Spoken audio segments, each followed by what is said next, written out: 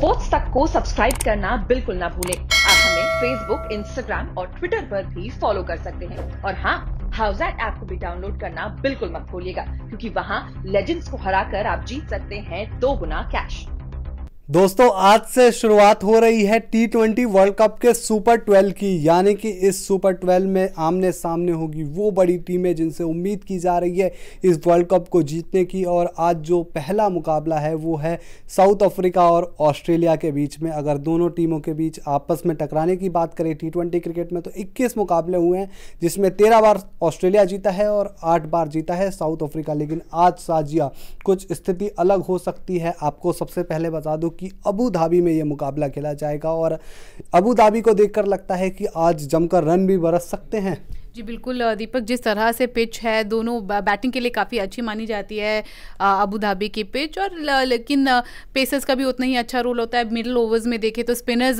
काफ़ी ज़्यादा अहम रोल प्ले कर सकते हैं।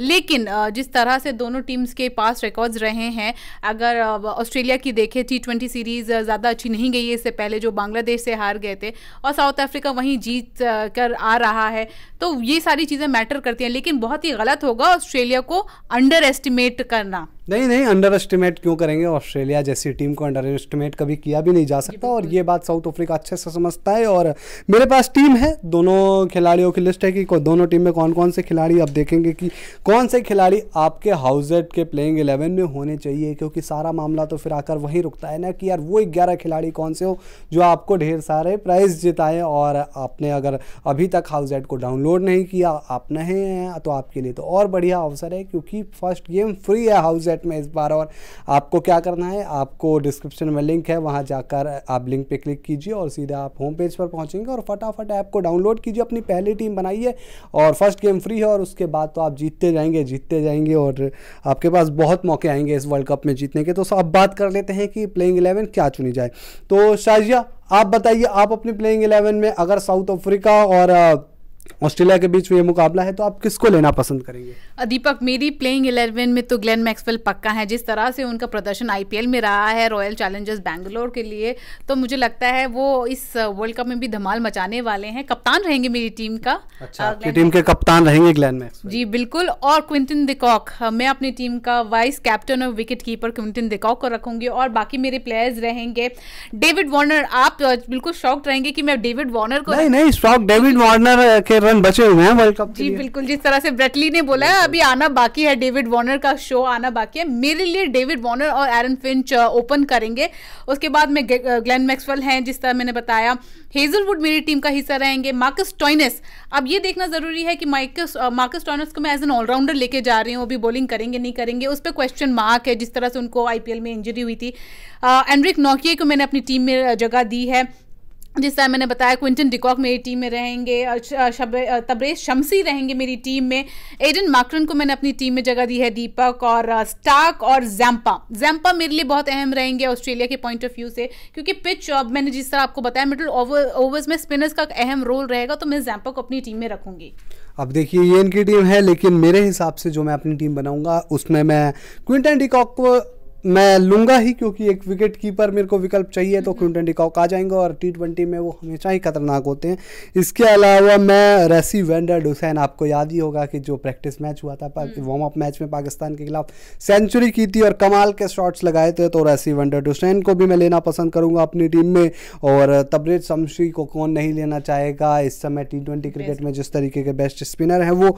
और उसके अलावा रबाडा और एनरिक नोकिया हमने देखा कि दिल्ली कैपिटल्स के लिए किस तरीके से उन्होंने प्रदर्शन किया और यहाँ पे उन्हें अनुभव है गेंदबाजी करने का, वो पिछले महीने यहाँ पे ही गेंदबाजी कर रहे हैं। तो और मैं ऑस्ट्रेलिया की टीम पर नज़र डालूँ। डेविड वार्नर को मैं अपनी टीम में ज़रूर लूँगा क्योंकि भले ही लगता हो कि यार वो ख़राब फॉर्म से जूझ रहे हैं, लेकिन ये ऐसा खिलाड़ी कभी भी वापसी कर सकता है। एरन फिंच में शायद अभी अपनी टीम में ना लूँ क्योंकि ये मुझे लगता है कि इंजरी के बाद वापसी कर रहे हैं, थोड़ा वक्त लगेगा उनको एडजस्ट होने में। और स्टीव स्मिथ मैं अपनी टीम में लेना पसंद करूँगा, ग्लैन मैक्सवेल मेरी टीम में हो सकते हैं। और एडम जंपा भी एक अच्छी पसंद रहेंगे जॉश हेजलवुड भी एक अच्छा विकल्प हो सकते हैं सीएसके के साथ हाँ। सीएसके के साथ जॉश हेजलवुड काफ़ी समय अच्छा से यूए में खेल रहे थे और स्टीव स्मिथ ने भी अगर आप प्रैक्टिस मैच देखिए अभी जो इंडिया के खिलाफ वार्म अप हुआ था वहाँ पे ठीक ठाक वो बल्लेबाजी कर रहे थे। जब हमने देखा कि डेविड वार्नर और आपके अरुण फिंच विफल हो गए तो आके उन्होंने कुछ रन बनाए। तो ये तो बात की हमने पहले मुकाबले की और ये मुकाबला था साउथ अफ्रीका वर्सेस ऑस्ट्रेलिया के बीच में और ये मुकाबला बड़ा इंटरेस्टिंग रहने वाला है लेकिन इससे भी इंटरेस्टिंग रहने वाला है इंग्लैंड वर्सेस वेस्ट इंडीज चार साल पुरानी याद वो ईडन गार्डन का मैच और आखिरी ओवर चार छक्के और एक तरफ़ टीम खुशी से झूम उठी दूसरी तरफ़ एक टीम मतलब हाथों से कहते हैं ना कि रेत फिसल गई वैसे उनके हाथों से उस दिन जीत फिसल गई। तो इस वर्ल्ड कप में सामने आपके वेस्ट इंडीज कैसे शुरुआत करना चाहेगा इंग्लैंड? दीपक तो 2016 की बात की, हमने अब चीज़ें बहुत बदल चुकी हैं। बेन स्टोक्स नहीं है जोफ्रा आर्चर नहीं है इस टीम का। हिस्सा बहुत सी सारी डायनामिक्स बदले हैं इंग्लैंड टीम के। और वेस्ट इंडीज़ का भी देखा जाए तो अभी जिस तरह से वार्म अप गेम्स में उनका प्रदर्शन रहा है, ज़्यादा अच्छा इंप्रेसिव नहीं रहा है। और बहुत सारे प्लेयर्स पे इंजरी के भी क्वेश्चन मार्क हैं कि खेलेंगे, नहीं खेलेंगे, ये भी वो नहीं है। तो ये इंटरेस्टिंग रहेगा मैच क्योंकि इंग्लैंड के लिए काफ़ी अहम रहेगा, क्योंकि 2019 वर्ल्ड कप की विजेता है। और 2016 वर्ल्ड कप का माइंड में रहेगा तो आपकी टीम कौन कौन सी होगी बता देखिए मुझे नहीं लगता वैसे कि चार साल पुराना कुछ माइंड में रहेगा क्योंकि जो इंग्लैंड की टीम है आप बस कह सकते हो एक रिकॉर्ड की यार पास्ट में जो हुआ वो तो ज़रूर रहता ही है दिमाग में लेकिन मैं आपको फैक्ट बताऊँ कि इंग्लैंड बहुत आगे बढ़ चुका है उस दौर से निकलकर। उन्होंने 2019 वर्ल्ड कप भी जीता और उन्होंने ऐसे ऐसे प्लेयर तैयार किए ना इस सॉर्ट ऑफ़ फॉर्मेट में चाहे वो जैसन रॉय हो जॉनी बेस्ट हो जो आके पहली गेंद से ही वो मारने लगते हैं और फिर वो रुकते नहीं है वो मारते ही जाते हैं। तो इंग्लैंड की टीम, मुझे लगता है कि भले ही जोफ्रा आर्चर ना हो या इस टीम में बेन स्टोक्स ना हो, लेकिन तब भी मज़बूत नज़र आ रही है। तो मैं अगर इंग्लैंड और वेस्ट इंडीज के बीच अपनी टीम बनाऊँ तो मुझे लगता है कि थोड़ी वेस्ट इंडीज आज शायद फीकी पड़ जाए, क्योंकि जो दो मुकाबले वो खेले हैं वार्म अप मैच चाहे वो अफ़गानिस्तान के खिलाफ हो, चाहे पाकिस्तान दोनों हारे हैं, वो वेस्ट इंडीज नज़र नहीं आई है।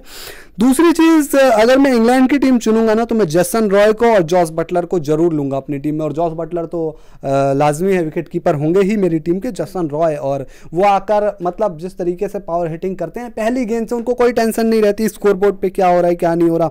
जॉनी बेस्टो एक अच्छा विकल्प हो सकते हैं। आप जेसन रॉय को लेंगे हाँ, जेसन रॉय मैं ले रहा हूँ अपनी टीम में। ज़्यादा कुछ अच्छा प्रदर्शन नहीं, नहीं था। नहीं उनका कोई प्रदर्शन मुझे नहीं देखना। आगे पीछे क्या करते हैं क्योंकि ये खिलाड़ी जिस दिन खेलता है ना तो उस दिन फिर यही खेलता है बाकी सब ताली बजाते हैं। तो जेसन रॉय मेरी टीम में होगा और जॉस बटलर को मैं अपनी टीम में ज़रूर लूँगा। इसके अलावा Moeen Ali Moeen Ali IPL में खेले हैं और बिल्कुल और उस दिन आपको याद होगा जो इंडिया के खिलाफ वार्म अप मैच था उसमें आके उन्होंने अच्छे रन बनाए तेज़ी से रन बनाए, बनाए। तेज़ी से तो मोइन अली मैं ले सकता हूँ। इसके अलावा मैं आदिल रशीद क्योंकि यहाँ पे एक लेग स्पिनर इंपॉर्टेंट भूमिका रहेगी उसकी। और फिर मैं देखूँ तो सैम बिलिंग्स अगर खिलाती है टीम मौका देती है तो सैम बिलिंग्स मेरी टीम में हो सकते हैं टॉम करन हो सकते हैं। डेविड विली भी एक तेज गेंदबाज अच्छा विकल्प होंगे। लेकिन वेस्ट इंडीज की तरफ़ शाजिया मैं क्रिस गेल को देखना चाहूँगा कि क्रिस गेल किस तरीके से बैटिंग करते हैं। क्रिस, वैसे तो वेस्ट इंडीज की टीम में ओपनर्स के और भी विकल्प और हम पिछले कुछ समय से देख रहे हैं कि क्रिस गेल नंबर तीन पर खेल रहे हैं। पर मैं पर्सनली चाहूँगा कि अगर वेस्ट इंडीज को इस टूर्नामेंट में कुछ अलग करना है, यानी कि अपना वो रुतबा बरकरार रखना है विनर वाला तो यार आप क्रिस गेल को ओपनिंग कराओ, क्योंकि वो ऐसा खिलाड़ी है ना, वो छह ओवर में ही आके आपके लिए मैच बना के चला जाएगा।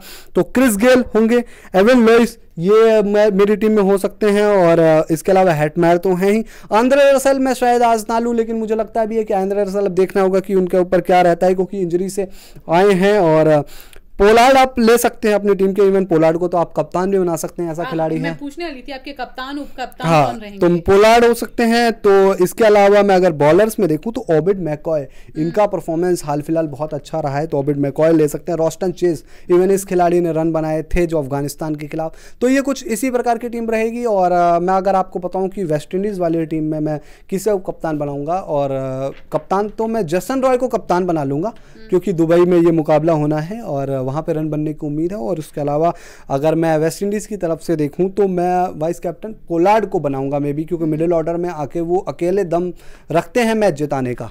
जी बिल्कुल आपकी काफ़ी बैलेंस टीम लग रही है दीपक। मैंने भी शायद बहुत सारे सेम प्लेयर्स चुने हैं। अगर मेरी टीम का देखा जाए तो मैं एविन लुइस को अपनी टीम में ज़रूर लूँगी। जिस तरह से उनका प्रदर्शन रहा है चा, चाहे वो राजस्थान रॉयल्स के लिए उन्होंने प्रदर्शन किया या सी में उनका प्रदर्शन रहा है। रोस्टन चेज उनका भी सी में काफ़ी अच्छा प्रदर्शन रहा है। वो अलग था लेकिन मुझे लगता है ये दो बल्लेबाज हैं वो काफ़ी अच्छा ओपनिंग दे देंगे।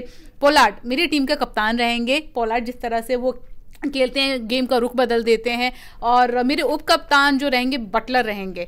और ब्रावो को मैं अपनी टीम में ज़रूर देखती हूँ एक ऑलराउंडर है। हाँ, बिल्कुल ड्वेन ब्रावो बहुत बढ़िया विकल्प रहेंगे और इनको ले सकते हैं जी भी ब्रावो को लेंगे। हाँ आपने बताया कि आंद्रे रसल पे एक क्वेश्चन मार्क है कि क्या वो खेलेंगे नहीं हम्म। खेलेंगे उनकी इंजरी को लेकर क्योंकि वो के के लिए भी लास्ट मैच नहीं खेल पाए थे। पर मैं उनको इस विकल्प लेकर चलूँगी और और उसके बाद डाविड मलान मेरी टीम का हिस्सा रहेंगे। लिविंग स्टोन का भी सेम क्वेश्चन रहेगा कि क्या उनकी जबकि मॉर्गन ने वार्म अप मैच के बाद बता दिया था कि फिट और fine fit and fully fit हैं। तो मुझे लगता है लिविंग स्टोन मेरी टीम का हिस्सा रहेंगे। और बॉलर्स में देखा जाए तो राशिद और मोइन अली मोइन अली को मैं एज एन ऑलराउंडर लेके चल रही हूँ, जिस तरह से उन्होंने वार्म अप गेम में खेला था। एक अच्छे बैटर की तरह साबित भी हुए हैं और स्पिन तो हम जानते हैं किस तरह से करते हैं। राशिद और मोइन का जो वो कॉम्बिनेशन रहेगा, वो बिल्कुल घातक रहेगा इंग्लैंड के लिए। और मोइन अली मैंने आपको बता दिया वोक्स रहेंगे मार्क वुड रहेंगे। और ये मेरी टीम का हिस्सा रहेंगे, बिल्कुल। तो देखिए, टीमें दोनों ही काफ़ी बढ़िया हैं और जो साउथ अफ्रीका, ऑस्ट्रेलिया वाला मुकाबला है, उसमें भी दोनों टीम दमदार है तो आप सोच समझ कर अपनी टीम बनाइएगा। आप रेफरेंस ले सकते हैं हमारी इन टीम से और बाकी आप, लगता है कि किस खिलाड़ी पर भरोसा करना है तो अपने दिल की सुनिए दिमाग से पहले और दिमाग भी ज़रूर लगाइए, क्योंकि रिकॉर्ड्स भी कई बार देखने ज़रूरी होते हैं तो दोनों चीज़ को बैलेंस बनाइए और अपनी टीम चुनिए। और पहला गेम अगर खेल रहे हैं तो आपके लिए पहला गेम तो फ्री है तो ज़्यादा सोच विचार करने की ज़रूरत नहीं है। हाउस जेड को डाउनलोड कीजिए, अपनी टीम बनाइए और कमेंट बॉक्स में बताइए कि आपको क्या लगता है कि आज दोनों जो मुकाबले होंगे, उसमें कौन सी टीम चैंपियन जीत सकती है मतलब मुकाबला जीत सकती है? और अगर आपको वीडियो पसंद आया है तो वीडियो को लाइक कीजिए, शेयर कीजिए, साथ ही स्पोर्ट्स तक को सब्सक्राइब करके नोटिफिकेशन की जो घंटी है, वो फटाफट बजा दीजिए। स्पोर्ट्स तक को सब्सक्राइब करना बिल्कुल ना भूलें। आप हमें फेसबुक इंस्टाग्राम और ट्विटर पर भी फॉलो कर सकते हैं। और हाँ हाउस ऐप को भी डाउनलोड करना बिल्कुल मत भूलिएगा, क्योंकि वहाँ लेजेंड्स को हराकर आप जीत सकते हैं दो गुना कैश